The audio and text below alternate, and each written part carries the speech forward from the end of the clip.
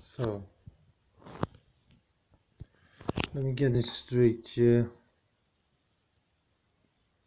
Uh,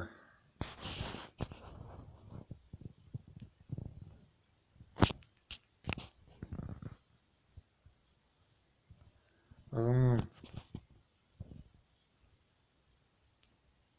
you can go you can go to uh, to the town center and not only can you go into the town center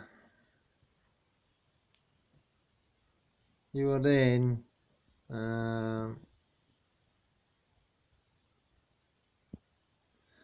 you are then coming out of a certain shop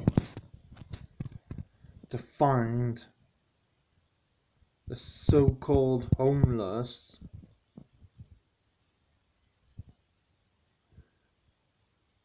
opening up a packet of cigarettes. How can you afford cigarettes if you're supposedly homeless? Pathetic.